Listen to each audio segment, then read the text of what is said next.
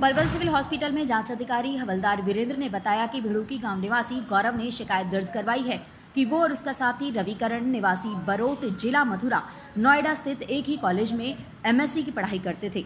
26 मई को हरियाणा सरकार की तरफ़ से नायब तहसीलदार की परीक्षा आयोजित कराई गई थी। गौरव को भी परीक्षा देनी थी और उसका सेंटर नारनौल ज़िले में आया था। गौरव अपने साथी रविकरण को अपने साथ बाइक पर लेकर परीक्षा देने नारनौल गए थे। परीक्षा देकर गौरव और रविकरण बाइक पर केएमपी मार्ग होते हुए वापस आ रहे थे। तो गाँव महसपुर के समीप बाइक के आगे पत्थर आ गया।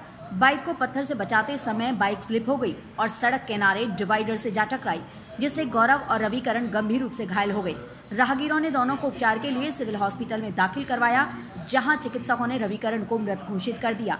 पुलिस ने पीड़ित की शिकायत के आधार पर धारा एक सौ चौहत्तर की कार्यवाही कर सोमवार को पोस्टमार्टम के बाद शव उसके परिजनों के हवाले कर दिया।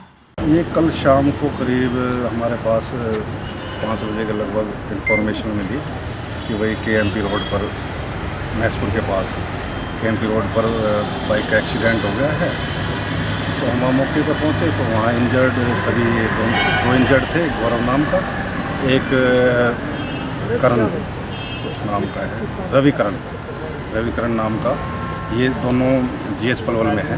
तो मैं फिर जी एच पलवल में आया तो इनको जो रविकरण है उनको डेड कमगोरसरी में हुई मिली और जो दूसरा दोस्त था इसका साथी था, जो गौरव, वो हायर रेफर सेंटर के लिए रेफ़र किया हुआ था, जो कल मौके गवाह न मिलने के कारण कार्रवाई अमल में नहीं लाई जा सकी। जो आज सुबह गौरव ने थाने में हाजिर आकर दरख्वास्त पेश की एक्सीडेंट बारे जो दरख्वास्त के मजमून से मामला इतफाक़िया जो बाइक के ऊपर ये पेपर दे के आ रहे थे अपना नारनौल से।